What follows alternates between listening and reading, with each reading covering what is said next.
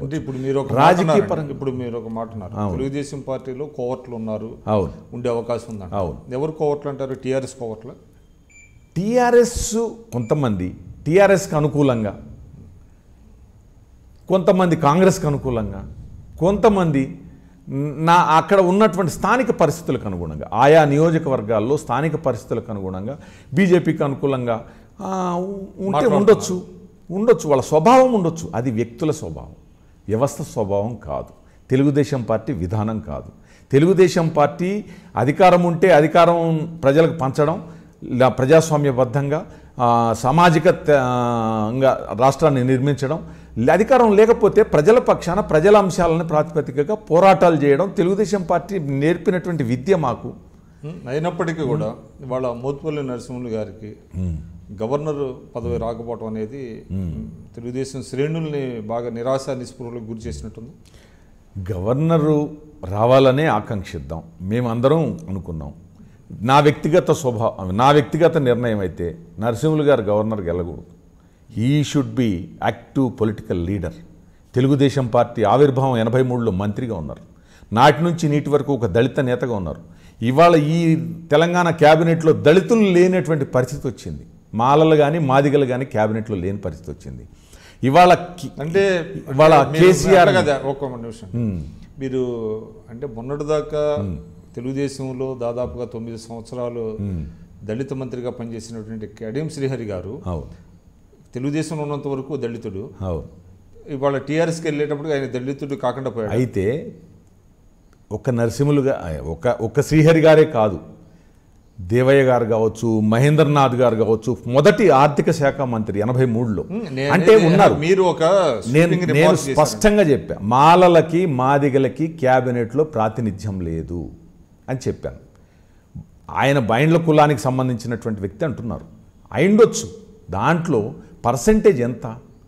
Majority ప్రా సామాజిక తెలంగాణ కావాలనుకుని ప్రజలు కోరుకుని పోరాడి తెచ్చుకుంటే ఇవాళ ఎవరికి ప్రాతినిధ్యం ఇస్తున్నావు? ఇవాళ మాలలకి లేదు మాదిగలకి లేదు. అంటే నరసింహులు గారికి గవర్నర్ ఆశించినా కూడా ఒక దళిత వ్యక్తి గవర్నర్ అవ్వడానికి ముఖ్యమంత్రి అవ్వడానికి కూడా అర్హత ఉన్- అర్హతలు ఉన్నటువంటి వ్యక్తి.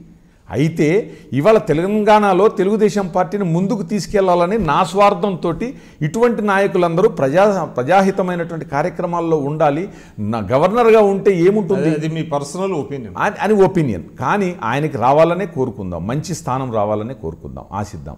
అయితే అయినంత మాత్రాన ఆ గవర్నరే అల్టిమేట్ కాదు. ఇంకొకటి తెలుగుదేశం పార్టీ చంద్రబాబు నాయుడు గారు ఇచ్చేది కాదు కదా గవర్నర్ పదవి.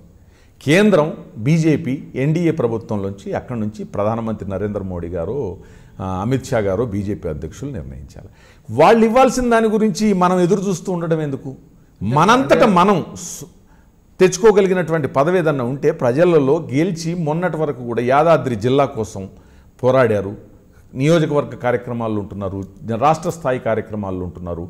రేపు తెలుగుదేశం పార్టీకి ఒక దశ దిశ నిర్ నిర్మించగలిగినటువంటి నాయకుల్లో ఒకరిగా ముఖ్యులు ప్రధాన భూమిక పోషించేటువంటి వ్యక్తిగా ఉన్నారు. వారు వస్తే గవర్నర్ కుర్చీలో కూర్చుంటారు లేకపోతే ఆ, వారు ఆశించినట్టు రాజ్యసభ స్థానంలో కూర్చోవచ్చు. కానీ ఈ తెలంగాణ ప్రజల పక్షాన తెలంగాణ రాష్ట్రంలో పార్టీని బలోపేతం చేయడం కోసం మాత్రం వారి సేవలు ఉపయోగ వినియోగపడాలనేది నా ఉద్దేశం. అంటే ఇక్కడ తెలంగాణ బీజేపీ నేతలు ఏమైనా అడ్డుకున్నారనేటువంటిది ఒక అభిప్రాయం ఉందా? ఏదో నరేంద్ర మోడీ గారినో చంద్రబాబు నాయుడు గారినో ఈ తెలంగాణలో ఉన్న బీజేపీ నాయకులు వెళ్ళి అడ్డుకుంటారు. లేకపోతే ఆంధ్రప్రదేశ్లో ఉన్న బీజేపీ నాయకులు చంద్రబాబు నాయుడు గారిని అడ్డుకుంటారు నరేంద్ర మోడీని అడ్డుకుంటారు అంటే ఇవన్నీ తాత్కాలికమైనటువంటి చిన్న అంశాలు. వారు నిర్ణయించుకున్న తర్వాత ఎవ్వరూ ఆపే శక్తి ఎవరికీ లేదు. అల్టిమేట్ పార్టీ విధాన నిర్ణేతలు వాళ్ళు. వాళ్ళు బీజేపీకి ఒకరు తెలుగుదేశం పార్టీకి ఒకరు. ఇప్పటికీ వారు ఆ రాష్ట్ర ముఖ్యమంత్రిగా ఉన్నా కూడా జాతీయ అధ్యక్షులుగా ఉన్నారు. ఈ పార్టీ దిశ దశ నిర్దేశించాల్సింది ఆయనే. ఆయన ఇప్పుడు ఇచ్చిన టైం కన్నా కూడా ఇంకెక్కువ టైం ఇవ్వాలి. తెలంగాణలో కూడా ఎన్టీఆర్ ఆశలుకి కలలు కన్నటువంటి తెలంగాణ రాష్ట్రంలో ప్రజల పక్షాన నిలబడే పార్టీగా తీర్చిదిద్దటంలో వారు కూడా ప్రధాన భూమిక పోషించాలి. ఇక్కడ ఉన్నటువంటి నాయకత్వానికి వారికన్నా ఎక్కువ బాధ్యత ఉంది ఇంక్లూడింగ్ నాతో సహా ప్రతి ఒక్కరికి కూడా. ప్రధాన భూమికి పోషించాల్సినటువంటి అవసరం ఉందన్నమాట. అంత నిరాశ చెందాల్సిన అవసరం లేదండి సమస్య లేదు. తెలుగుదేశం పార్టీకి అస్సాం గణ సంగ్రామ పరిషత్ ఎవరు? యూనివర్సిటీ విద్యార్థులు వచ్చి రాష్ట్ర ప్రభుత్వం ఏర్పాటు చేశారు. ఇవాళ ఇప్పుడు కనిపిస్తున్నంత మాత్రాన రేపు ఒక మంచి ప్రభావితం చేయగలిగే నాయకత్వం టేకప్ చేయొచ్చు. అంశాల వారీగా తెలుగుదేశం పార్టీకి లాభం జరిగేటువంటి సంఘటనలు జరగవచ్చు ఇవాళ రైతు సంఘాలు వచ్చిన తర్వాత రైతు కమిటీలు వచ్చిన తర్వాతే తెలుగుదేశం పార్టీని గుర్తు చేసుకుంటున్నారు. ఫ్యూడల్ వ్యవస్థ మళ్ళీ పటేల్ పట్వారి వ్యవస్థ తీసుకొస్తున్నాడు కేసీఆర్. ఎన్టీ రామారావు గారు మాకు ఇచ్చినటువంటి వ్యవస్థ నామరూపాలు లేకుండా పోతుందని ప్రజలు ఆలోచించుకుంటున్నారు. ఇవాళ ఏ ఊర్లోకి పోయినా వేసిన రోడ్డు ఇచ్చిన నీళ్ళు తా తాగిన నీళ్ళు ఇచ్చినటువంటి సాగునీరు ప్రతి ఒక్కటి కూడా స్కూ బడి గుడి ప్రతి ఒక్కటి కూడా గుర్తు చేస్తున్నాయి.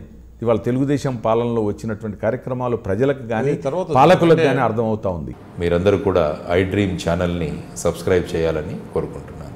I'm Sucharita, Home Minister of Andhra Pradesh. For more videos, subscribe iDreams. Me Chirla Jaggireddy MLA Kothapeta. For more videos please subscribe I dream For more videos, please subscribe I Dream. నేను మీ Jakkampudi Raja for more videos please subscribe I dreams I'm Revati Chaudhary. For more videos, please subscribe iDream. For more videos, please subscribe to iDream. For more videos, please subscribe iDream. I am Vasireddy Padma, Chairperson of State Women Commission. For more videos, please subscribe iDream.